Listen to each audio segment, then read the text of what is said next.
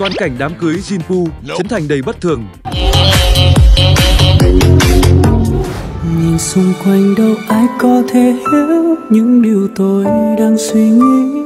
Mizu chưa nhập tiệc đã gặp kiếp nạn vô lễ.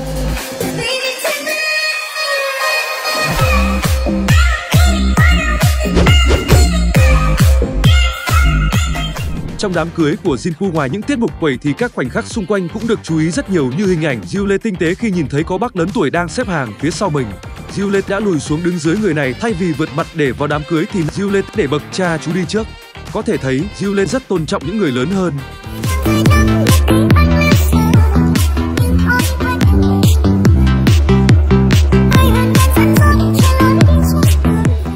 Nếu Jiu Lê được khen thì trái lại với Mizu lại gặp kiếp nạn, không hay. Theo đó, trong một khoảnh khắc, Mizu bước xuống xe. Trước đó, có nghệ sĩ Tiểu Bảo Quốc và nghệ sĩ Việt Anh, nhưng nữ diễn viên bị cho là không lễ phép với tiền bối. Vì theo khán giả, Mizu dù không quen nhưng ít nhất cô cũng cần biết đó là ai và phải gật đầu chào nam nghệ sĩ một cái. Dù chưa được chụp ảnh với cô dâu chú rể nhưng Mizu lại nhận về gạch đá. Cái tôi quan tâm là sao Mizu không chào chú Tiểu Bảo Quốc, ít gì cũng có một cái gật đầu. Hết thích Mizu luôn, nhìn bà chảnh thiệt. Bên cạnh đó, Mizu cũng được so sánh với Trấn Thành.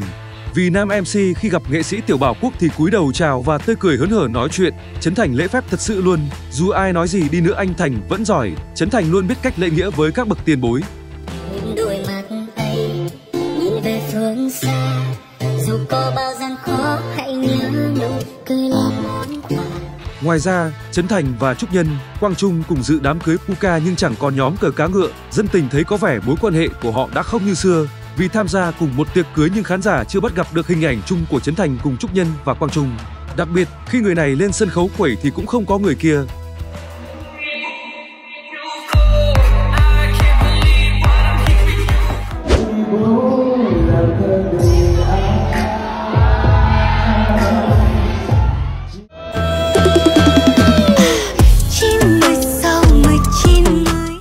Mới nói gì ạ?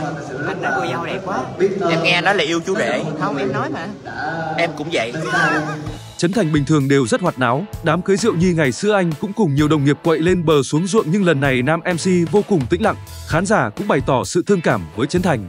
Có người cho rằng có lẽ gặp nhiều ồn ào nên đã ảnh hưởng đến anh.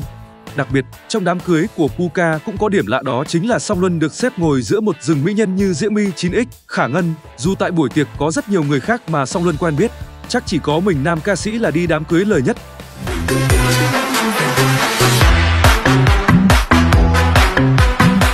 Trong hôn lễ của Jinpu tại thành phố Hồ Chí Minh còn có mẹ và em gái của Wan Bi Tuấn Anh. Có lẽ đây là một trong những lần hiếm hoi khán giả mới bắt gặp được hình ảnh gia đình của cố nghệ sĩ tham gia tiệc cưới của sao Việt. Còn bạn thấy sao về những điểm bất thường, kiếp nạn của các nghệ sĩ khi tham gia đám cưới của Puka, Jin Tuấn Kiệt? Hãy chia sẻ cùng Gian nhé!